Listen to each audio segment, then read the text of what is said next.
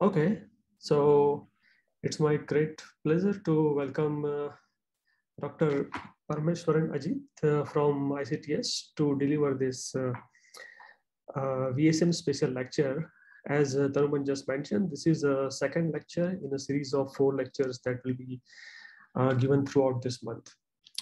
Uh, so Ajith did actually his PhD from uh, Max Planck Institute uh, for Gravitational Physics and uh, Leibniz University of Hanover, Germany.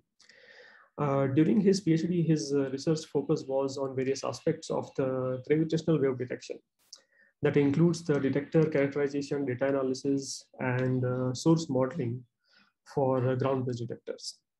After completing his PhD, he moved on to Caltech for uh, his postdoctoral study where he spent almost four years. And uh, fortunately, I was also there at that time and uh, we became quite good friends uh, at Caltech. So that's how we know each other. And uh, after Caltech, uh, he was again mostly studying the various aspects of the gravitational wave detection. And then he came back to India and joined ICTS, TIFR Bangalore Center as a faculty uh, since then. Uh, his uh, research work has been recognized nationally and internationally and has received several awards and recognitions, which just to name a couple of them, uh, he has been awarded the Gruber Cosmology Prize in 2016 and uh, Special Breakthrough Prize in Fundamental Physics at the same year as a part of the LIGO Virgo collaborations. And uh, recently in 2019, he was awarded the NR Sen Young Researcher Award by the Indian Associations for General Relativity and uh, Gravitation. Uh, his uh, research work has been, as I mentioned, mostly focused on the various aspects of the gravitational wave astronomy. And uh, that includes the modeling of the gravitational wave sources by combining the analytical and uh, numerical relativity the data analysis for the gravitational waves, interpretation of the observations. And uh, as you probably be aware that the gravitational waves have very weak signals basically. So it's kind of very puzzling or tricky to detect uh, the sources. And uh, Ajith has been actively involved in developing some novel techniques to distinguish between the actual gravitational wave triggers and the spurious uh, instrumental signals. Uh, so Today, uh, he will be uh, telling us about uh, the gravitational wave lensing of gravitational waves, a new frontier. So without taking much time, I would request uh, Ajith to start the lecture. Ajith. Thank you, Vikram, for the very kind introduction. Yes, as you said, I, I fondly remember the spend the time that we spent together in Pasadena with you and your family. It was a great time. Yes, yes. thank you. Uh, I, I wanted to thank the uh, organizers for this uh, very serious meetings, uh, especially Tanuman Ghosh and, and, and, friends for this invitation. Um, I would have liked to come to RRI. It's been a while, um, but um, looks like I need to wait for some more time for that. Um, so today, let me try to share the screen.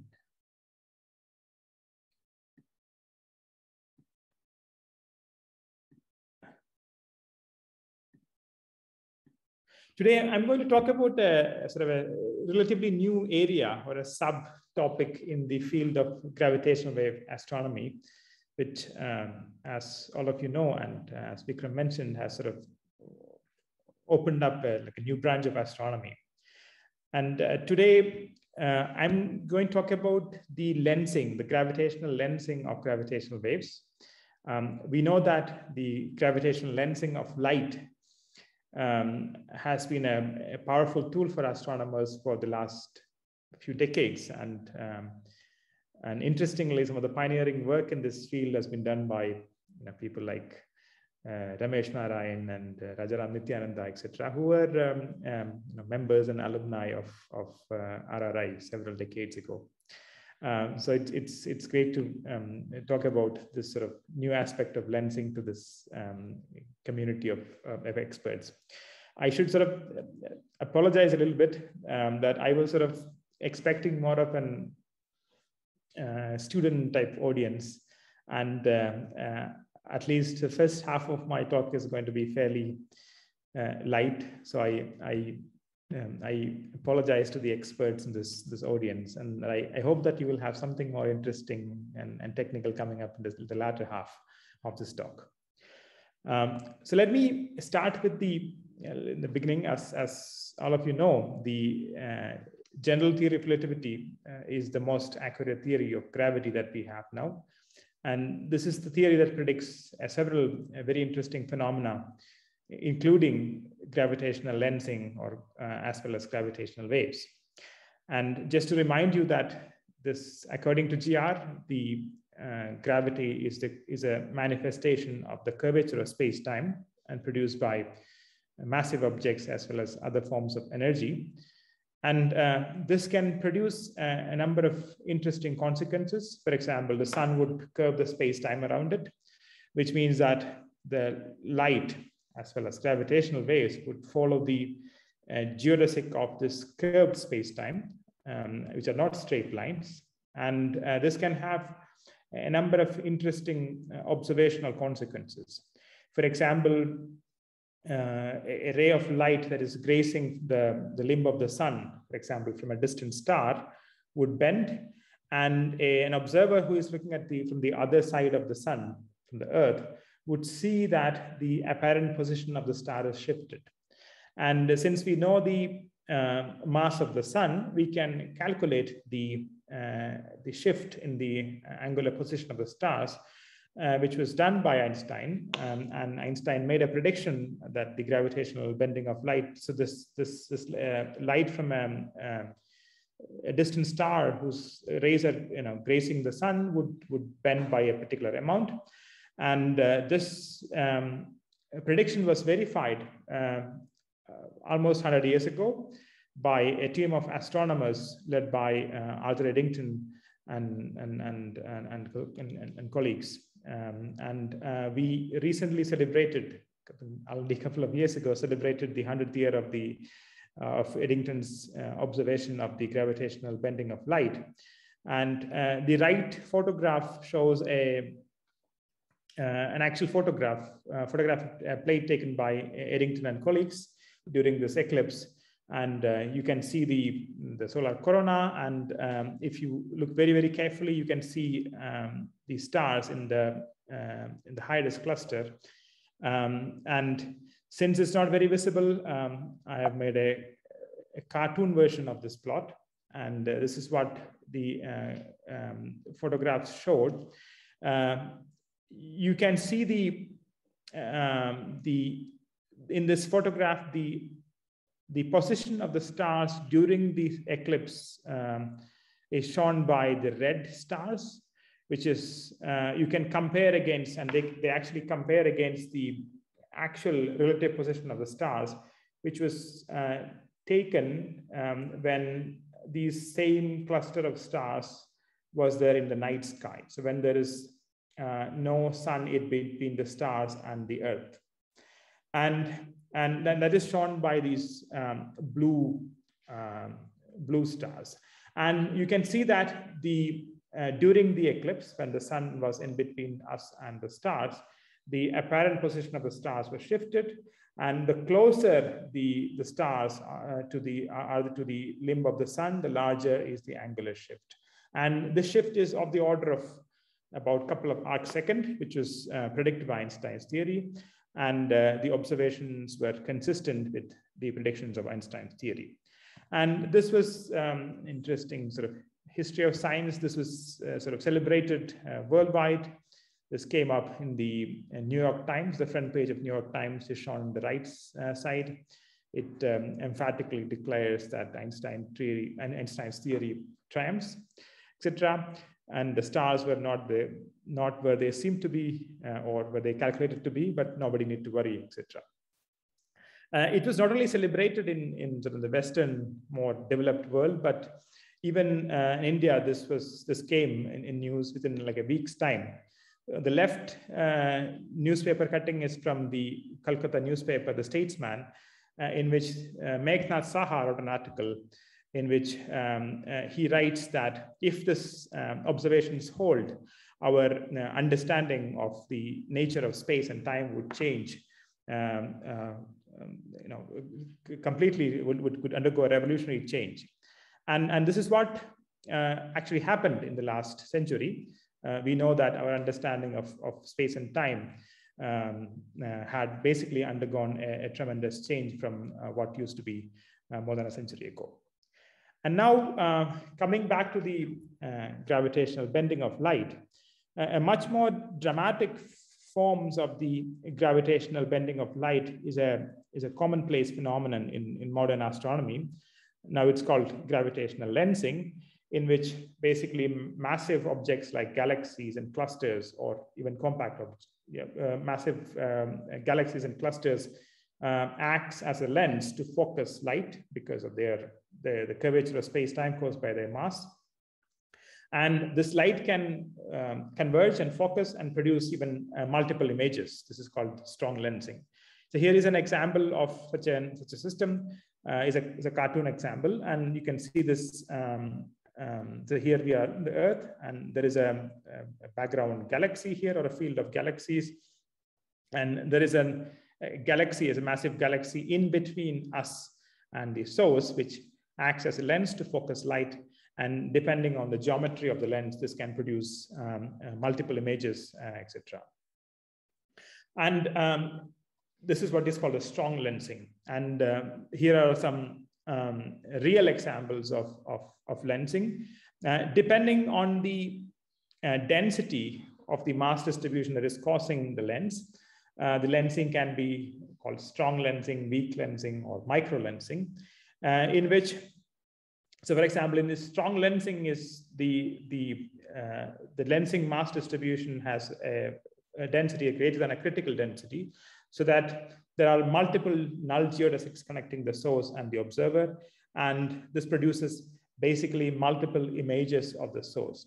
So here is a, a dramatic example of a strongly lensed quasar and depend because of the, the, the, geometry of this lens, it produces a quadruple image. There are uh, four images of a distant quasar uh, produced by this, this, this strong lens.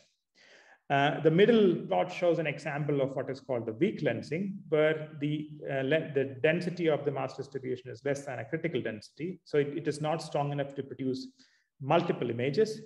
But um, you can see this characteristic arcs in this, in this um, image.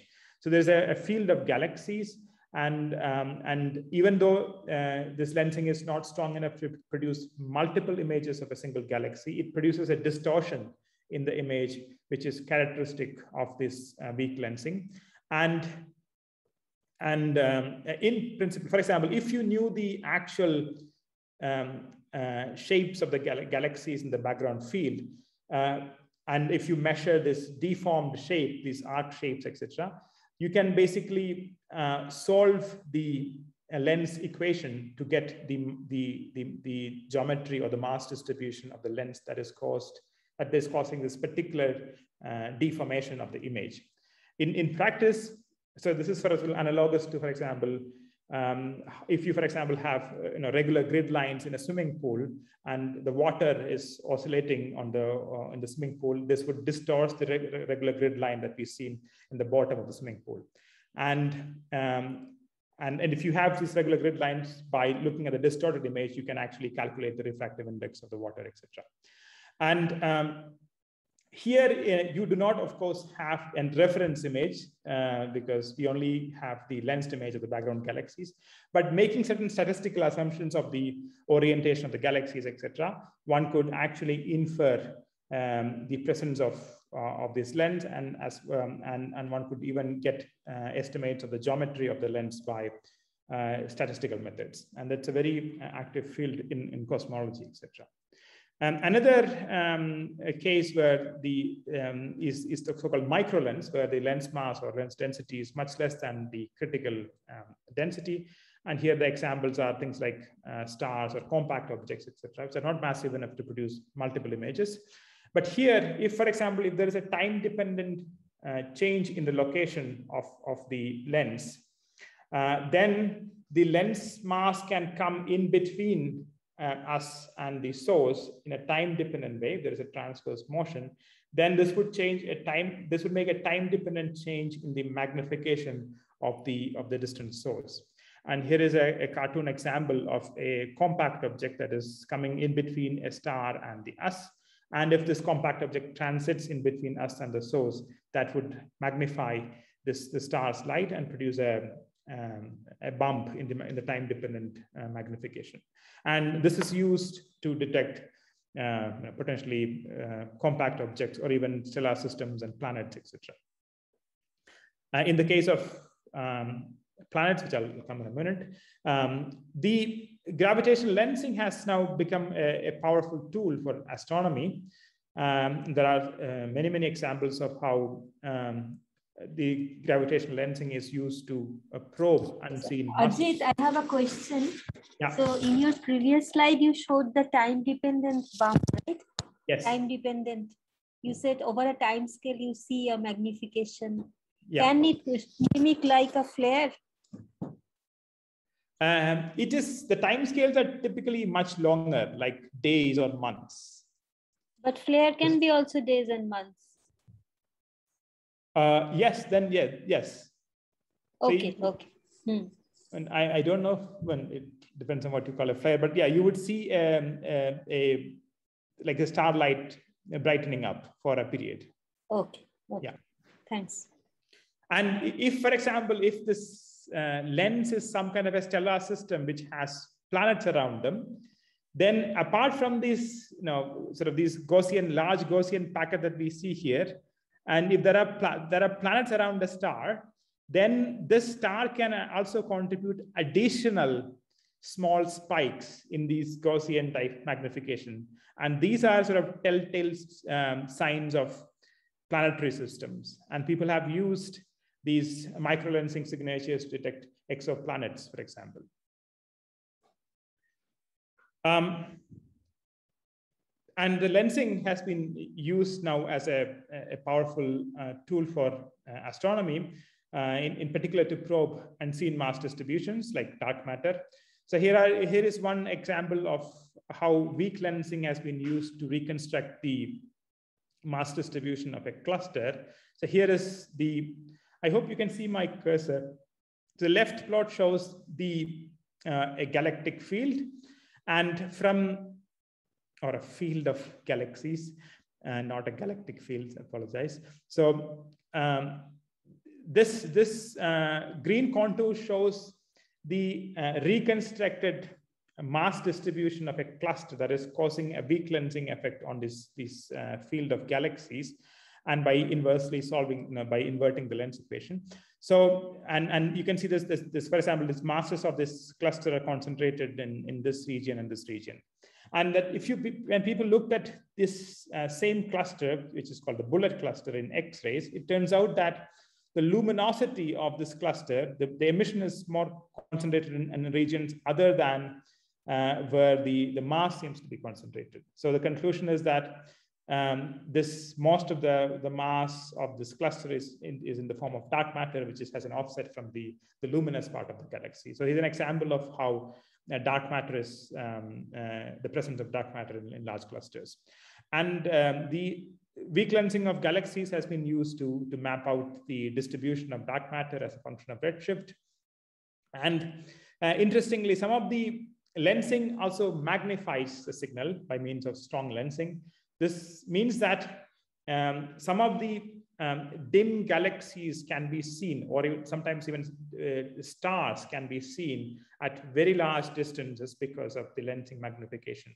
I will uh, come, I will show you some examples of that uh, to motivate similar possible effects in the case of uh, the lensing of gravitational waves also. So that lensing sort of can be, can act as a magnifying glass to, to, to, to look at very, very distant galaxies and stars that otherwise would not have been visible using um, our telescopes.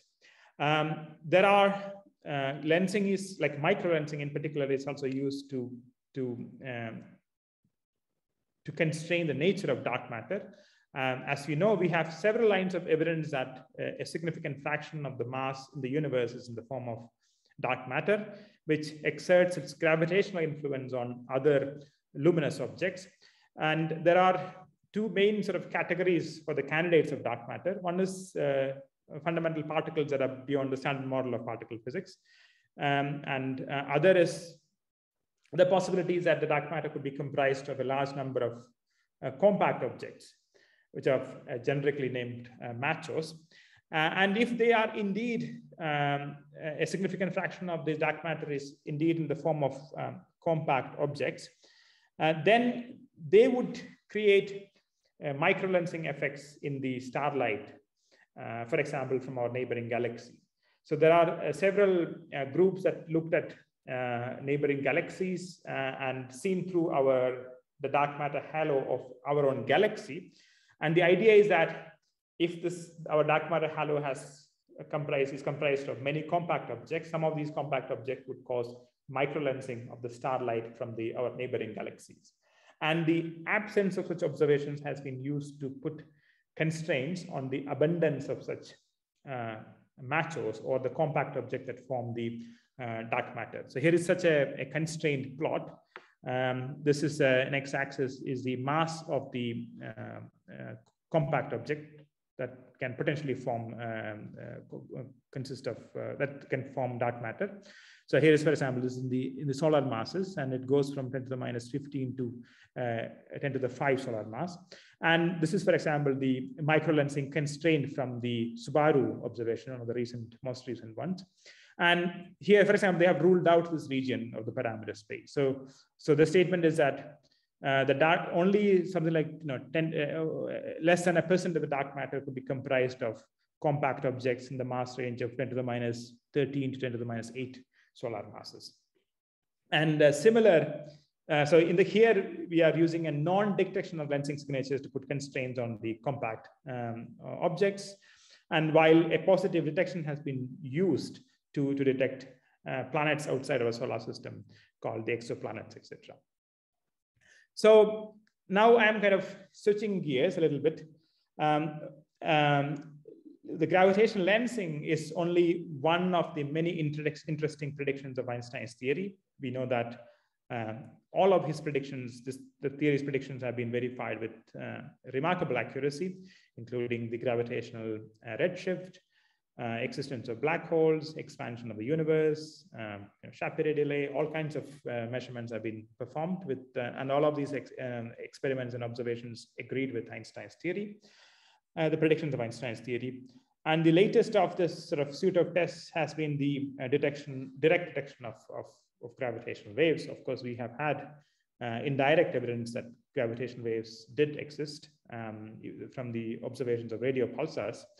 Um, and um, gravitational waves, as you know, are basically uh, wave-like solutions of Einstein's equations. They are uh, freely propagating oscillations in the geometry of space-time. Uh, they propagate at the speed of light. And uh, uh, the about six years ago, LIGO observatories made the first direct detection of gravitational waves passing through the Earth. And since then, LIGO and its sister observatory called Virgo in the, in the, in the Europe um, have made uh, detection of more than 50 gravitational wave signals from coalescing compact binaries including uh, binaries of double black holes or double neutron stars, as well as a mixed binary of a neutron star and a black hole. So um, all kinds of combinations of compact objects uh, forming binaries. So here is um, uh, like a character, sort of some schematic description of the um, compact objects that LIGO and Virgo have um, observed in the past six years. So the vertical axis here is the mass of the compact object in, in solar masses. The horizontal axis has no meaning. And in um, each of them, uh, each of the signal is produced by a compact binary coalescence in which two compact objects move in, move around each other, producing gravitational waves, eventually losing their energy and angular momentum and colliding with each other, producing uh, most of the time a, a rapidly spinning black hole and sometimes it would be a potentially a, a, a, neutron star uh, also. And uh, so each sort of binary coalescence involves sort of three objects. You start with a binary system of two compact objects merging to form a much more compact, much more massive um, compact object. So, and here are these blue dots are the black hole um, systems that were discovered by uh, LIGO and Virgo. And in contrast, these purple dots are the black holes discovered by X-ray observations from our own galaxy through uh, uh X-ray binaries. Uh, similarly, these uh, orange dots are the binary neutron stars that um, LIGO and Virgo have discovered. Um, and these yellow dots shows the uh, radio pulsars um, uh, for which the mass measurement exists uh, from the form of binary pulsars.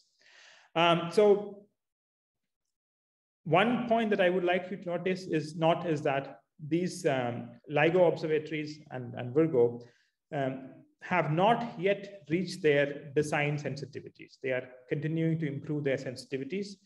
And each uh, factor of two improvement in the sensitivity would increase the, the, the, detection rate by a factor of eight because they are directly sensitive to the amplitude of the gravitational wave. So each factor of two will increase our volume, detection volume by a factor of two cube. And um, this, just by scaling this uh, detection volume, we expect the detection of several hundreds to a few thousand compact binary coalescence in the next few years as these detectors improve their sensitivity. Um, so, um, so we are really opening up a new branch of astronomy by the observations of these, these, these objects. Uh, even um, these existing observations have provided some uh, remarkable amount of very interesting science. So it's very hard to summarize everything in this such a um, short talk, but let me give you some very uh, some some important bullet points, uh, uh, highlights of, of these discoveries. One is um, these uh, observations of gravitational waves have provided us the first evidence of merging binary black hole systems and merging black hole neutron star systems. They have uncovered the, the existence of a new population of heavy black holes, which are more massive than about 30 times the mass of the sun. Uh, there are some, there is one, at least a potential evidence of, a, of an intermediate mass black hole, which is the, from the observation of this particular signal called GW190521. And we expect that the remnant of this merger would have uh, would be an intermediate mass black hole, which is more massive than about 100 solar masses. And, and finally, this uh, multi-messenger observation of a binary neutron star merger, the much celebrated GW170817, um, has basically inaugurated this multi-messenger astronomy in a very, very large way.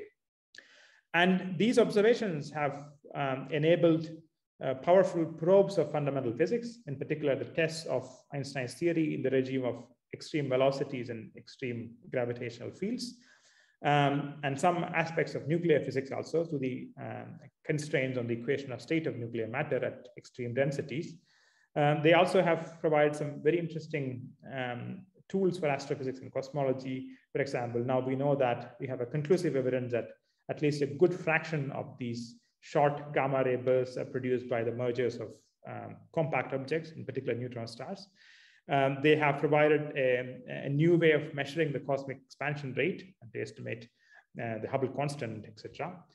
And while some of the precision of some of these existing measurements are fairly poor, um, uh, we would expect them to improve in the next few years with, the, um, with more and more observations coming up. So these observations also have uncovered new mysteries. They also have opened up new questions. So for example, we still don't uh, know what is the precise astrophysical uh, mechanism in which these um, black hole binaries form, in particular, these binaries involving these heavy black holes, uh, which are rather difficult to form through standard stellar collapse, etc. But it's not uh, impossible. So there are, um, um, I encourage those of you who are interested to look at um, these the publications. The, the, literature is quite vast and rapidly expanding. It's very hard to keep up with the, the literature. But here are some, uh, like a one page where you have uh, a collection of all the publications, the LIGO scientific collaboration and the Virgo collaboration, and some uh, accessible uh, science summaries also. So and um, in the next few years, with the observations of hundreds to thousands of sources, mm, we. Uh, sir, there is a question in the chat box. Okay. Uh, okay. The question is uh, uh, from the last slide, it appears that gravitational waves are more sensitive to larger masses as well as lower mass uh, compact objects when compared with electromagnetic observations. How does one understand this? I think the previous slide, right? Or... Yeah, the previous slide, yes. So uh, gravitational wave detectors are, you know, um, uh, rightly sensitive to higher masses. You're, you're right because they're um, uh, the the energy of the gravitational waves is proportional to the uh, some power of mass. So they have a larger amplitude. That's how you know uh, they produce louder signals, and and and that's that would allow us to see the the binary black the heavy binary black holes at larger um, uh, distance in the universe, and we have access to a larger volume. But uh, at some point, the, it also means that higher mass black holes will also produce lower frequency signals. Higher, higher the uh, mass, the larger is the time scale, and the lower is the frequency. And hence, eventually, if you go to too high masses, the gravitational waves would basically merge at a frequency. The binary black holes would merge at a frequency that is lower than the detection frequency band of LIGO. So there is some upper limit also. So there is, if you, for example, plot the sort of horizon distance of LIGO, there is a sweet spot of, of the order of 100 solar masses. So that's why we are uh, more, uh, we have a selection bias towards higher masses. I do not think that we have a selection bias towards lower mass objects. Uh, if we see lower mass objects, then it mostly means that there is an excess abundance of lower mass objects in the universe. I, there are I was, some really sorry, yeah, I was thinking of the, the, the plot, the lowest column, which is LIGO, Virgo, neutron stars. They seem to be very numerous at low masses. The Sorry, there's probably a, a, color confusion, uh, Sam. Uh, the LIGO, Virgo neutron stars are the orange dots. There are only five. The rest are the radio pulsars. That LIGO, Virgo neutron stars represent? The, the, the writing under electromagnetic neutron stars is LIGO Virgo neutron stars. So you, apparently with using LIGO and Virgo, you can see very low mass objects. That's what was puzzling me. No, no. So this, I think there is probably a confusion in the color coding. So the LIGO okay. Virgo neutron stars are the orange ones, like this one, this one, this one, etc. There are only five of them. Oh, okay. okay. Thank you. That that resolves my confusion. Yeah, yeah. The yellow ones are the radio pulsars. Okay. But you're right. There is a selection bias towards high mass black holes because of the their um, brightness in gravitational waves. Does it does that answer your question, Sam? Yes, it does. It does. Thank you. But uh, it will also depend on the redshift. Whether you can. That's detect... right. So yeah. So the the redshift the redshift also eventually would would uh, bring these signals uh, to uh, frequency band below our sensitivity band. So so that there is a, an issue there also. You're right.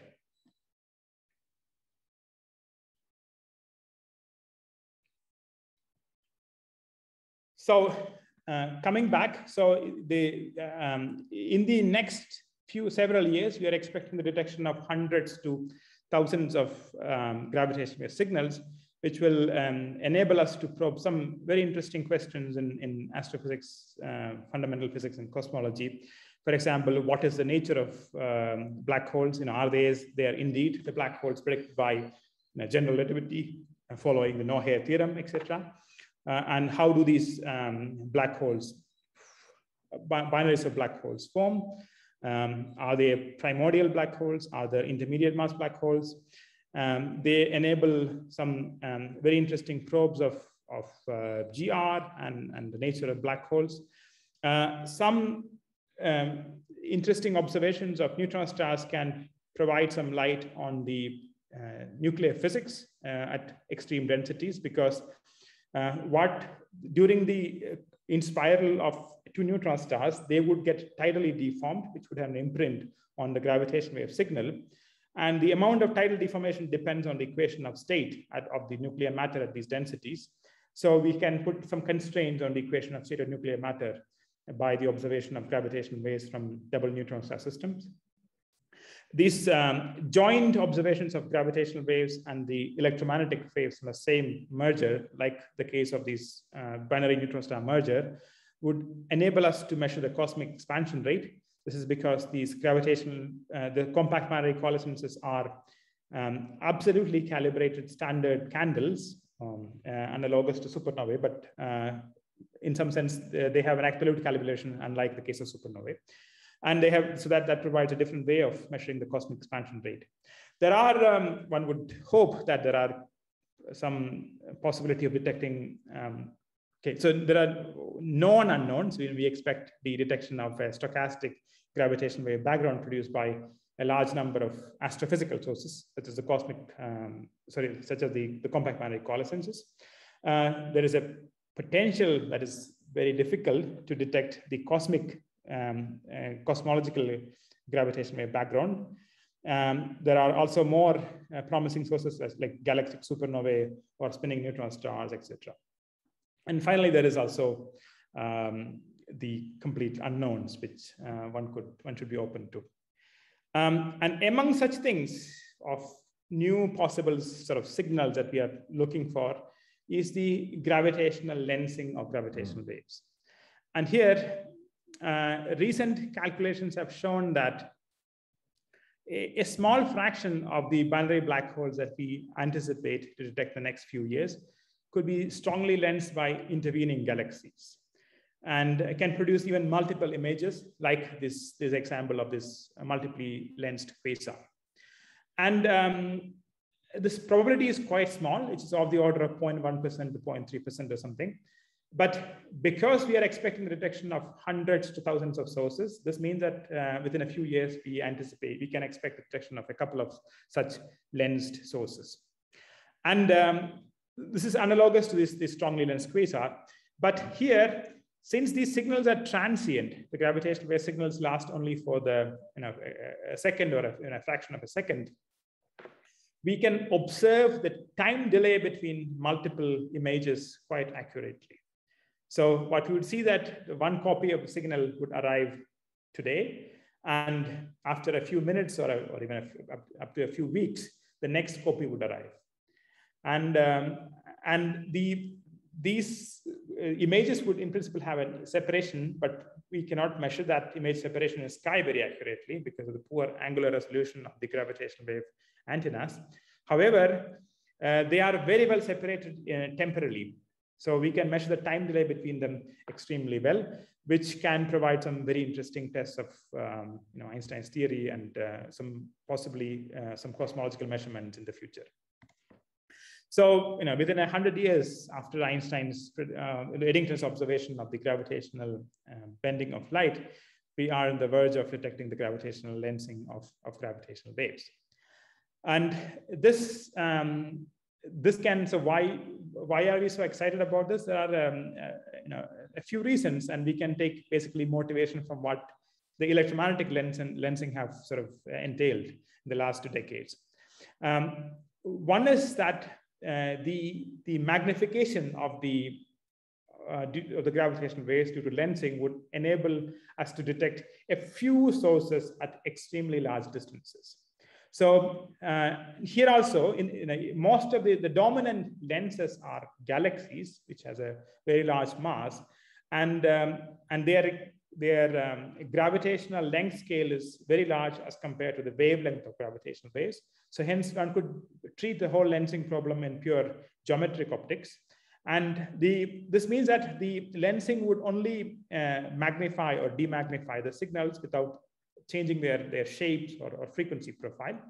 And very rare, so there is this magnification, distribution of magnification, and it's very rarely that we get a very high magnification.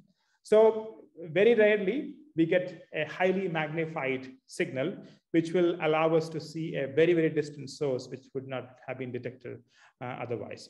And there are some examples of this in, uh, in the lensing of electromagnetic waves. Here is a, a remarkable example uh, that came a few years ago.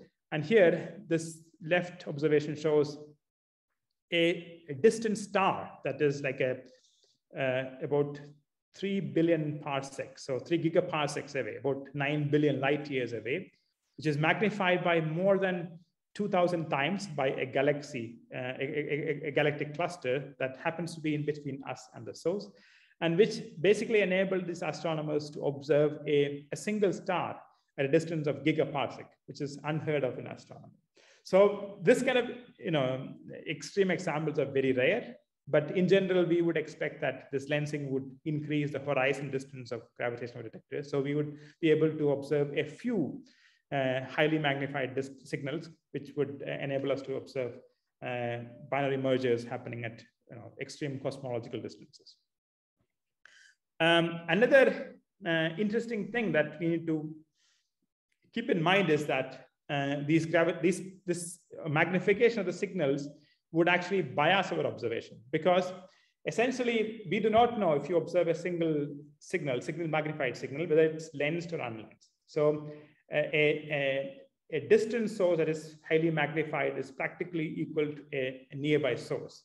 So if you were to estimate its distance by matching templates, essentially we would infer that we would only by, uh, infer a biased luminosity distance. We would underestimate its actual distance.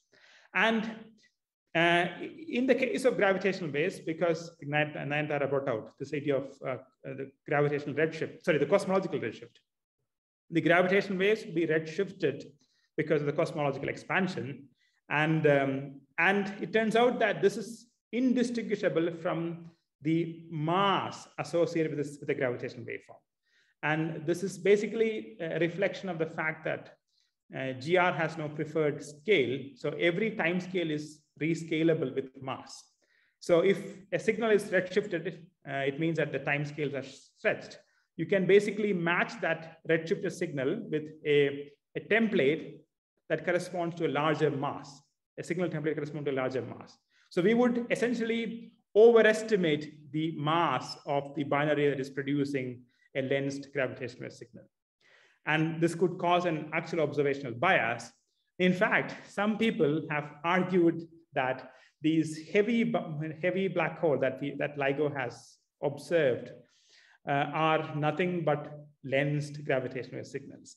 However, this is not shared, this excitement and this claim is not shared by most of the community. If you put in the, uh, the, the our best understood models of the um, lensing optical depth and the star formation rate, etc., this claim seems to be um, highly exotic, and so most people don't buy this, this, this claim. However, this possibility still exists. So if you want to now distinguish between these two possibilities that now how do you actually detect a lens gravitation wave, the, the clear, the telltale example is, is multiple images, as we have seen in the case of this quasar. So basically, uh, that is something that we need to look for and, and something we have been looking for also.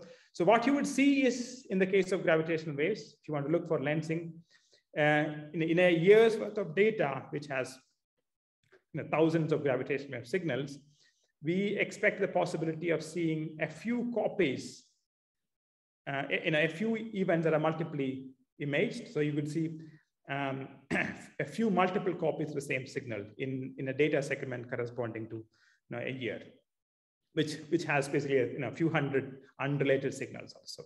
So this is, so your question is, uh, can you identify um, like a pair of signals is are produced by uh, like a lensed copies of the single merger or they are unrelated. So identifying these uh, you know, few lens copies of, of mergers is a, is a challenging task because of the poor signal to noise ratio of gravitational waves. So unlike the case of this image, which is extremely clear, and in the case of gravitational waves, the signal to noise ratio is still of the order of 10 at 20. And um, one cannot make this statement extremely precisely. So one has to you know, resort to some kind of statistical techniques. So um, our group uh, developed a, a Bayesian uh, model selection techniques to identify um, strongly lensed gravitational signals in the LIGO Virgo data. And here the, the, the, the essential trick is that if you know if you have uh, thousands of signals, you take multiple pairs of signals and ask the question, what is the probability that these pair is produced by the lens, you know, by, by the lensing of a single merger as compared to the probability of them produced by, produced by two independent mergers. So you can calculate a Bayesian odds ratio between the two hypotheses that this pair is produced by the lensing or they're not produced, they're produced by two individual mergers.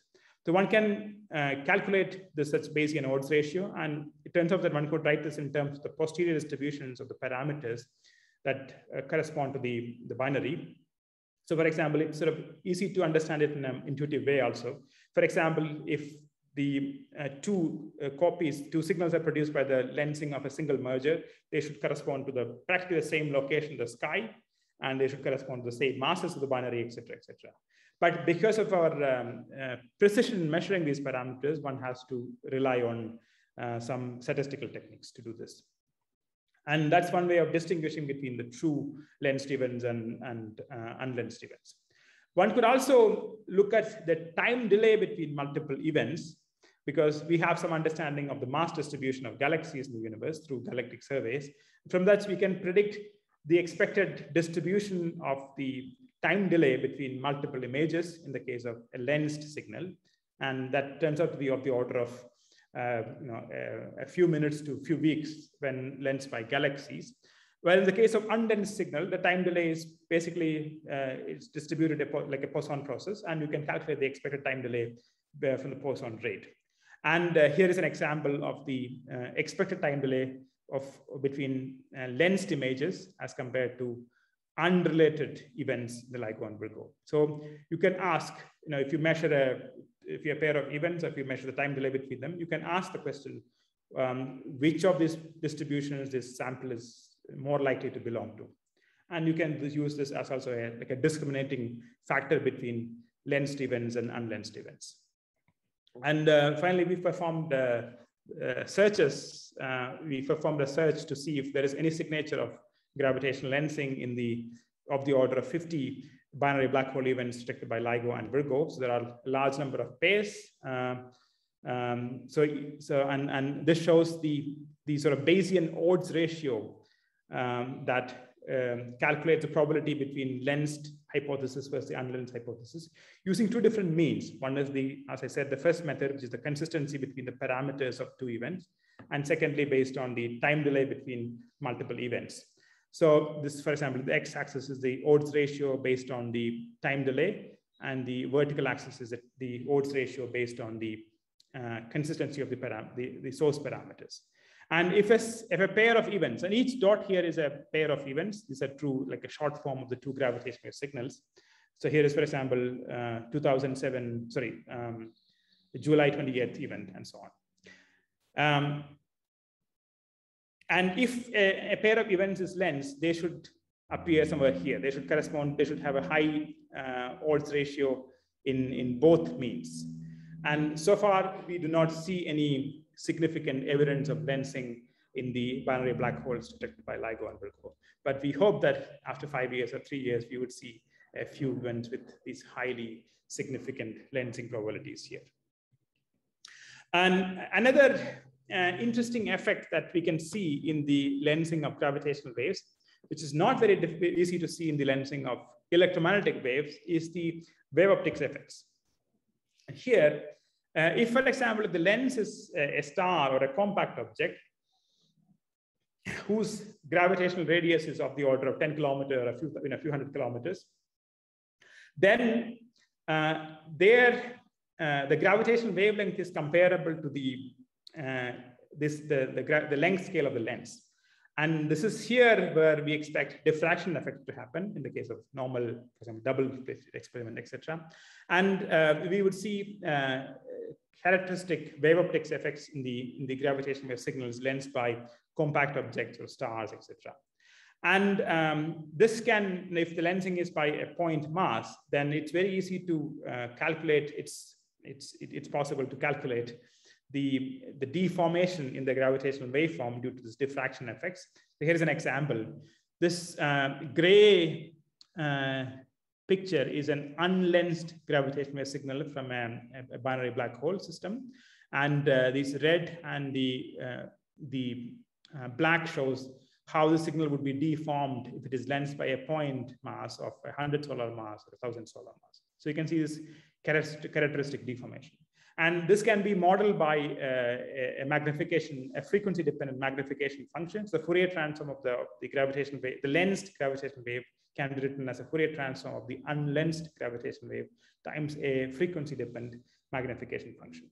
And one can now look for uh, evidence of such deformations in the observed gravitational wave signal. So one could again do a Bayesian model selection formulation of that. So you can calculate what is the odds ratio that between a lensed and unlensed hypothesis. What's the ratio of the probabilities that this particular like particular waveform contains deformations to the lensing and as compared to a purely unlensed waveform. And this again shows a distribution of such Bayesian odds ratios.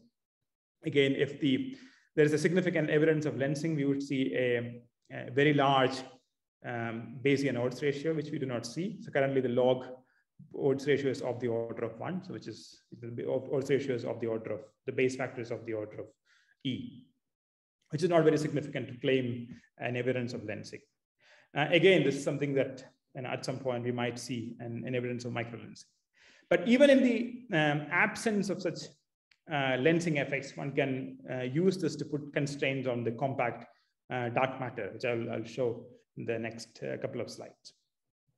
So um, another um, interesting thing that one could do by the observation of um, strongly lensed gravitational waves is that the uh, multiple images, multiple copies of gravitational waves would enable us to localize this merger uh, pretty accurately in the sky.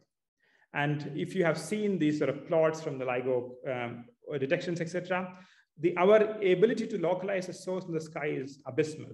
So we can localize source only you know uh, tens of square degrees to, to thousands of square degrees in the sky. So are it's very poor. That's because of the long wavelength involved in the gravitation waves. And our we are basically diffraction limited.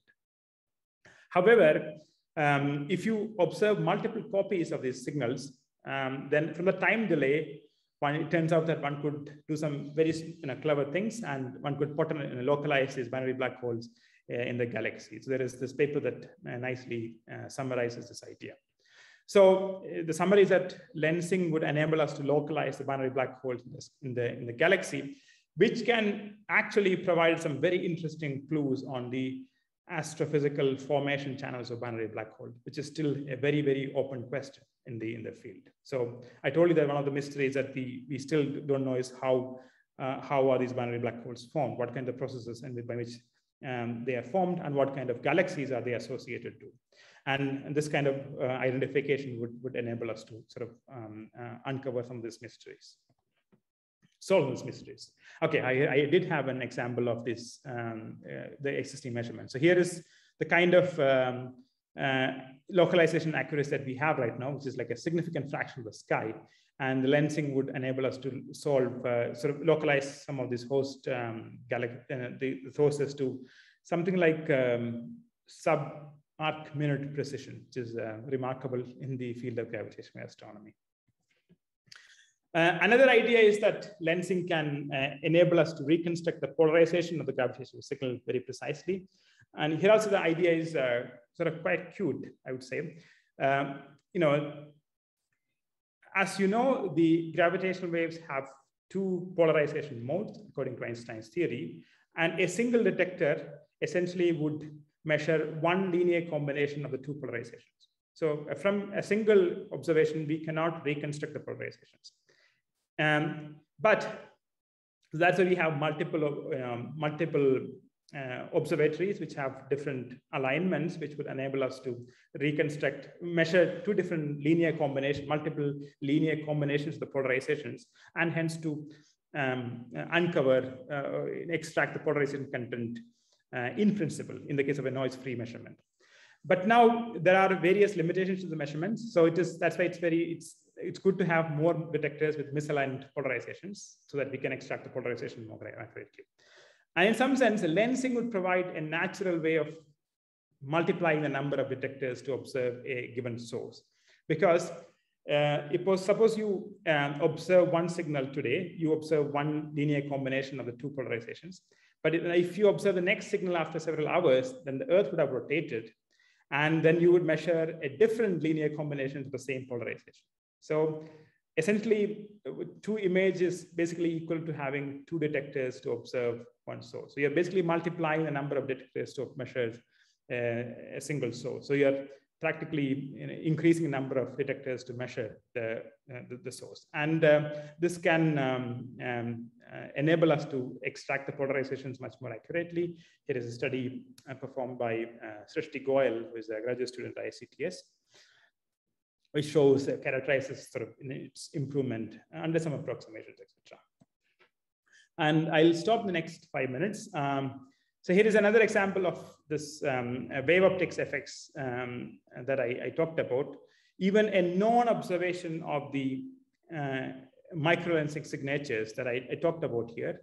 So, you know, I, I told you that this um, microlensing by a, a, compact object in between us and the source would deform the gravitational signal in characteristic ways, like the like the black uh, signal here. But if you do not have any, and currently we don't, we don't have any evidence of such, such signals, that's why this is the distribution of the Bayes factors or the Bayesian odds ratios between the, the microlensing hypothesis and the unlensed hypothesis. And this non-observation of such microlensing effects can be used to put constraints on the abundance of such compact objects in a in the particular mass range. And you can basically uh, say that only um, you can basically use this to put a, put a constraint, uh, put the put a constraint on the fraction of dark matter in the form of compact objects in this mass range. Here is our uh, um, the paper that a paper that we put out uh, very recently. This pr produces the first um, observational constraints on the fraction of dark matter in the form of compact objects in this mass range, about 100 solar mass to about 10 to the 5 solar mass, using the microlensing of gravitational waves. So the non-observation of the microlensing effects um, in the current uh, observations can be used to rule out uh, that know, we can now say that uh, only at max about 80% of the total dark matter can be contributed by compact objects in this mass range. This is not such an impressive constraint I, uh, because there are better constraints that are available uh, at this mass range using the uh, uh, spectral distortion of CMB, etc. But um, as we increase the number of um, detections in the next few years, these constraints would significantly improve. And uh, our paper shows that um, in the next five years or so, these constraints can be as, again, assuming that we do not observe any, any microlensing signatures, uh, these constraints could be as low as 10 to the minus 2. So we can roll out a significant fraction of this parameter space from the non-observation of, of the microlensing signatures in the gravitational waves. Uh, so I have, again, in the, lens, in the literature, in the, the, lensing of gravitational wave itself is a very um, rapidly expanding now. And there are very, very nice ideas that are coming up. And we are still um, scratching only the top, you know, the tip of this iceberg. Um, so let me summarize and, and stop. Um, if you sort of look back, the gravitational lensing observations began as a way of testing Einstein's theory. It, in fact, it was the powerful first uh, remarkable test of Einstein's theory. But eventually, once we understood Einstein's theory, it became a powerful probe for astrophysics and cosmology. And the story of gravitational waves is similar. And now we know that it is becoming a, a, unique branch of astronomy. And the first observation of the lensing of gravitational waves is expected in the next few years. And, um, and this is a, a, potential new tool for astronomers and cosmologists. We are only starting to understand the power of this, this tool. And it's, I think it's a very exciting uh, area. Um, thank you very much. I'll, I'll stop here and I'm happy to take any questions.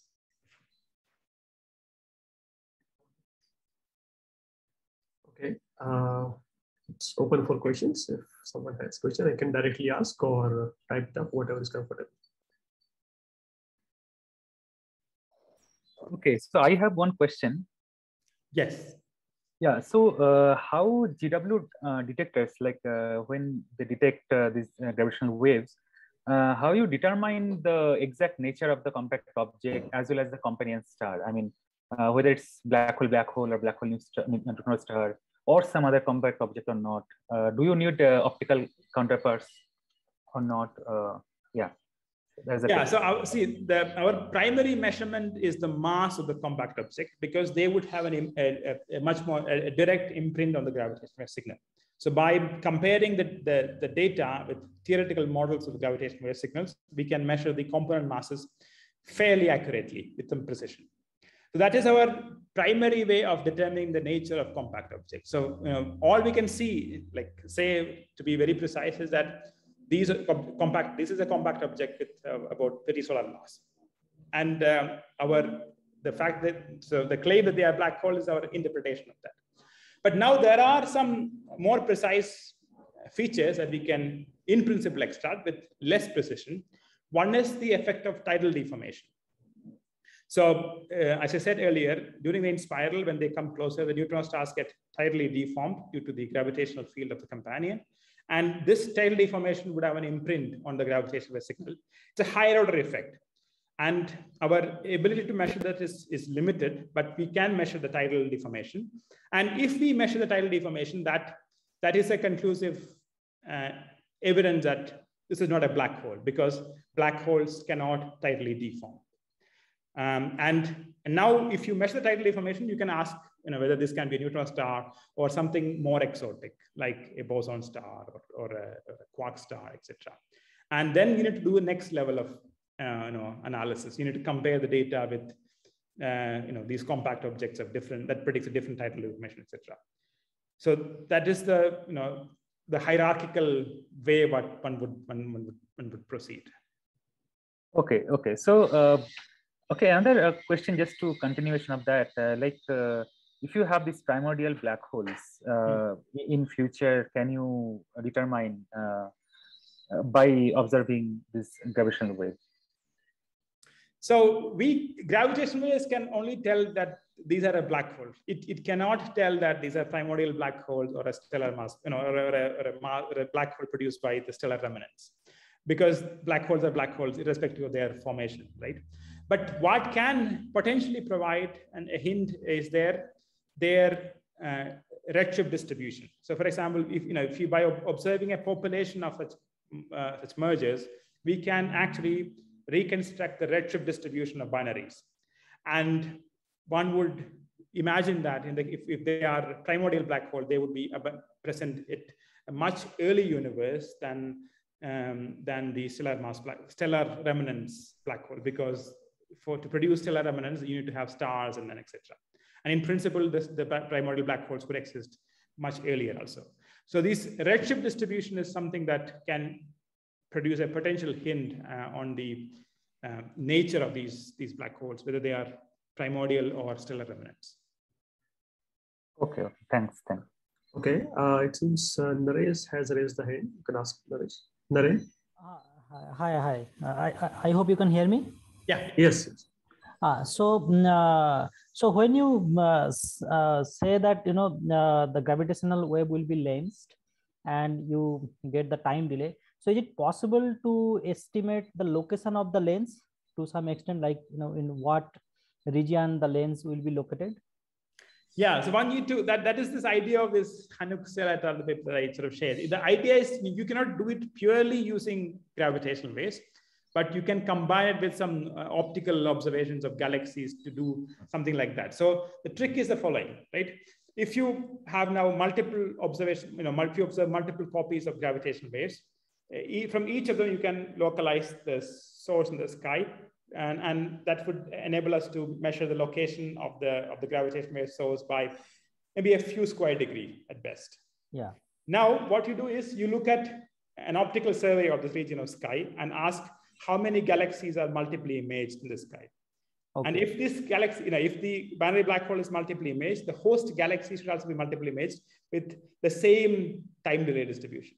Right. So you can ask then what is the which is the galaxy that that produces a time delay distribution and the magnification ratio that are consistent with the observed thing. And that would be way of localizing the lensed merger.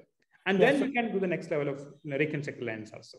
It is in principle possible. In practice, we have to see how well we can do that. Yeah, so so uh, in that sense, actually, I was curious when you calculate the probability of these uh, two events uh, having being you know uh, multiple copy of the same event so hmm. they are like if say for example i take like uh, one event and another event and okay if this is lens and these are the region uh, or this is the possible region where the lens would be for these two particular events and if we cross match with the optical survey or uh, you know the uh, galaxy cluster catalogs and so on uh, to calculate an updated probability uh, in a sense that okay yeah, if around the same region also there exists a mm, uh, possible lens of or galaxy cluster or something So that will also, I mean, I don't know. I mean, this just, you know, it might help or, I mean, mm, yeah, yeah, yeah, yeah, good point. So you're saying that then you can, um, you can use this as an additional evidence to or a exactly. factor to, to, to, to, yeah, that's a good idea. Yeah. Uh, but I, my worry is that you know the the, the gravitational wave sky localization is quite. I agree. I so agree. If that scale, yeah, the number density of clusters is practically the same all of the sky. Yeah. Okay. Right? Yeah. I mean, yeah, yeah that is uh, of course. I mean that that yeah. is. but that's an interesting idea, and uh, we can see what yeah what what how that can be used. Yeah. Thanks. Okay. All right. Thank you. Yeah. Uh, okay, uh, there is, I think, one more question in the chat box uh, by Subinoy. He's asking that uh, if primordial black holes are dark matter, they will form a dark matter halo. Can there be gravitational wave lensing signature which can distinguish primordial black hole dark matter as stellar mass uh, or stellar black hole? Hmm. Yeah, so you're saying that if they are primordial black holes, they would have a broader distribution in the galaxy in the in the dark matter halo as compared to the the stellar remnants, which would have be which be distributed within a galaxy, which would have a narrow spatial distribution, and whether this can uh, cause a difference in the lensing signatures. Um, again, I'm not sure within the kind of angular precision that we have, whether we will be able to distinguish between the angular scale of a halo uh, versus the angular scale of a galaxy. Um, so my first guess would be it is difficult, but it's worth exploring. Okay. So, you know, I don't know, is that a satisfactory answer?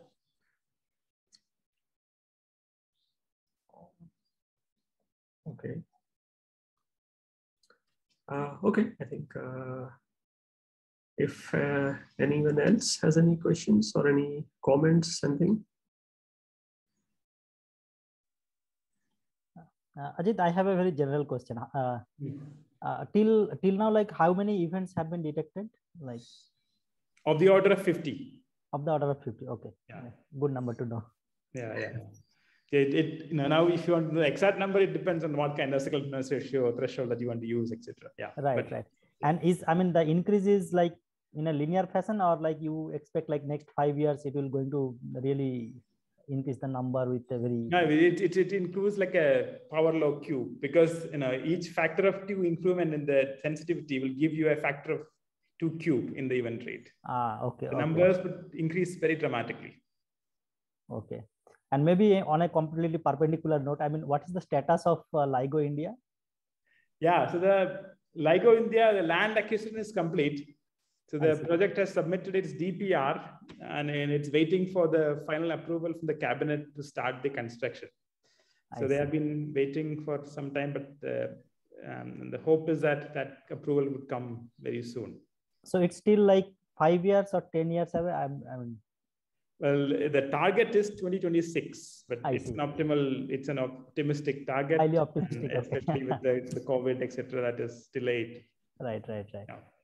All right, all right. Thank you. Yeah.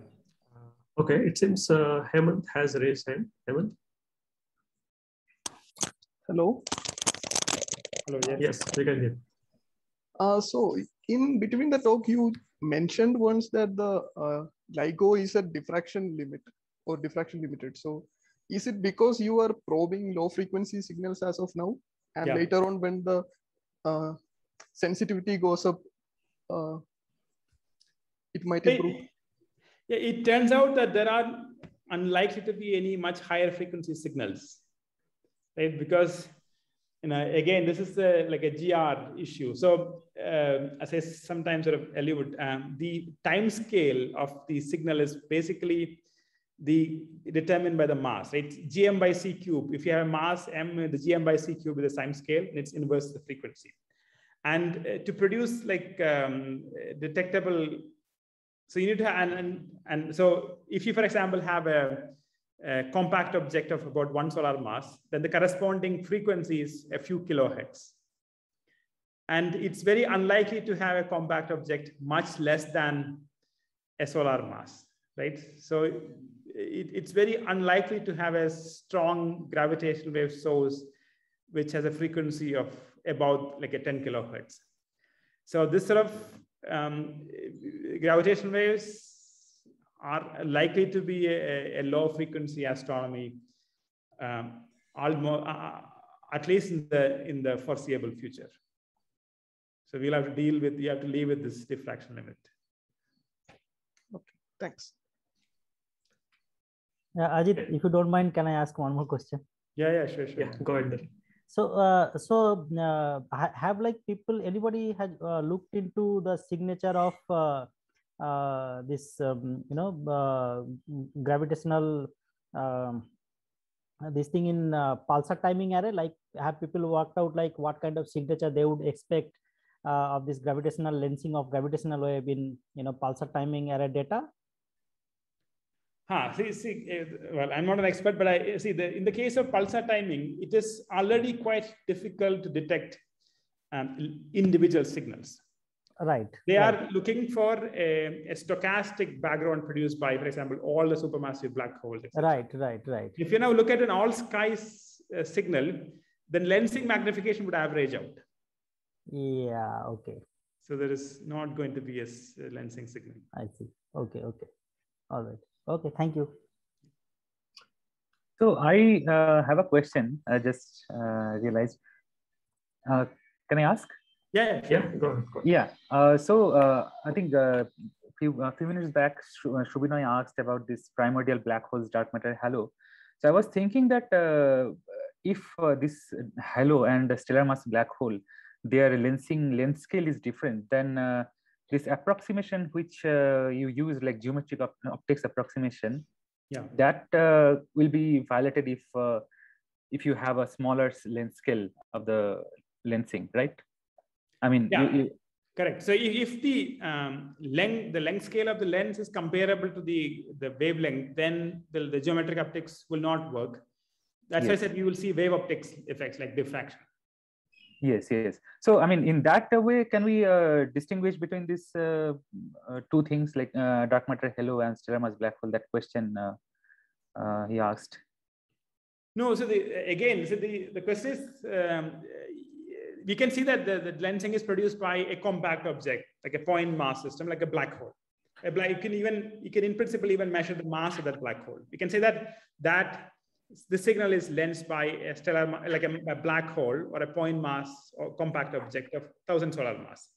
But we can never tell whether that is a stellar mass black hole or a or a primordial, like I mean, like, I mean, it's a stellar remnant black hole or a primordial black hole. You need to have some other um, reasons to make that difference. Yeah. Okay. Okay. Okay. Yeah because once it once it became a black hole, um, it doesn't matter whether it's a primordial or a stellar remnant. It would act exactly the same way. Yes, yes, yes. Right? So one has to look for its uh, its location in the galaxy or its spatial you know distribution in the universe, etc. To uh, for clues or its mass uh, mm -hmm. for clues on its its uh, origin. Yeah, yeah. Okay. Okay, great. Uh, I think if there are no more questions, let's uh, thank Ajith for such a wonderful and interesting talk. So thank you, Ajith. And, thank you. Uh, thank you. I enjoyed it. Hope to see you more frequent at RRI campus. Yes, I hope so too. I, I hope that we won't have a third wave. yes, yes, yes. Thank you and all take care. Okay. Yeah, thank you. Thank you. Thank you. Bye.